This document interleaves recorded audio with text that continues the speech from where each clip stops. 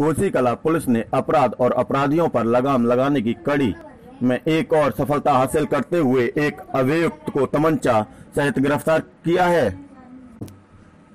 थाना कोसी कला में हुई एक प्रेस वार्ता में क्षेत्राधिकारी छाता जगदीश कालीरमन ने बताया कि कोसी पुलिस ने नगर के ईदगाह तिराहे के समीप एक अभियुक्त इमरान पुत्र इस्लाम निवासी कोसी कला को एक तमंचा, एक कारतूस और चार हज़ार तथा एक मोबाइल फ़ोन के साथ गिरफ़्तार किया। उन्होंने बताया कि इसकी पूछताछ में दो व्यक्ति, आरिफ पुत्र नूरदीन, प्रति सद्दाम पुत्र वहीद, निवासी कोसिकला नाम की प्रकाश में आए हैं। पुलिस उनकी तलाश में जुट गई है। वहीं पुलिस ने इमरान को संबंधित धाराओं के तहत जेल भेज दिया है। किस अपराध में उसको? थाना कोचिकला की टीम ने एक अभियुक्त को गिरफ़्तार किया है, जिस पे लूट का मुकदमा पहले से, पहले लूट के मुकदमे में वांछित चल रहा था वो। और ईदगाह तिराहे पर सूचना मिली थी मुखबिर द्वारा हमें कि एक व्यक्ति वहाँ पे काली बनियान में खड़ा हुआ है।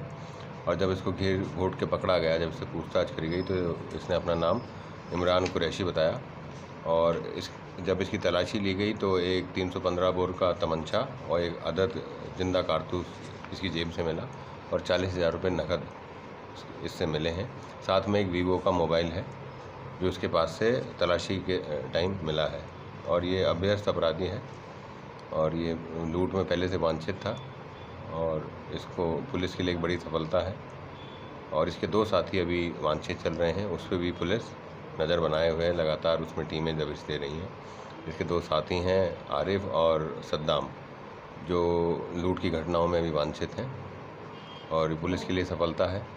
इससे जो इस तरह के अपराधी हैं उन पर शिकंजा कसा जाता है। सर नगर में चर्चा है कि करीब इसके संग तीन लोग और पकड़े गए थे। नहीं इसके इसके जो साथी हैं अभी अभी वो पकड़ में नहीं आए हैं। हालाँकि हमने चेकिंग अभियान चलाया था। अलग अलग घरों में दबिश दी गई जो ठिकाने में पता लगे थे। दो साथी भी इसके वांछित हैं और जल्दी ही पुलिस उनको पकड़ लेगी।